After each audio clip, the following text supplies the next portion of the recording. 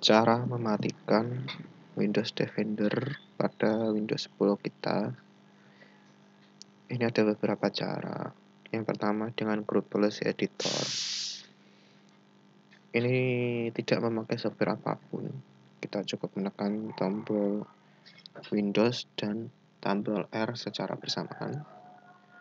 Kita ketik gpedit msc oke kemudian pada lokal ini ada lokal group policy editor. Kita tekan administrative template.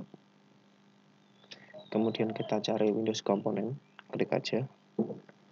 Kemudian kita cari Windows Defender. Nah ini klik kemudian kita cari turn off Windows Defender-nya. Double klik aja. Nah yang pertama kan biasanya yang belum pernah di turn off atau di turn on masih not configured kita klik aja enable untuk mematikan Windows Defender-nya. Kemudian kita klik OK. Nah ini sebelum kita klik OK bagi yang ingin mengaktifkan lagi Windows Defender-nya bisa kita klik disable. Nah karena kita ini mungkin matikan enable. Oke.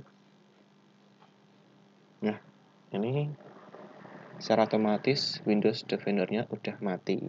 Kita bisa lihat di sini. Hmm. Is ya kita lihat Windows Defender application is turned off by group policy. Nah sudah selesai cara mematikan Windows Defender-nya. Dan apabila kalian ini lagi tinggal disable group policy tadi. Lihat group policy tadi. Terima kasih. Kalau masih ada pertanyaan silahkan tanya di komentarnya. Terima kasih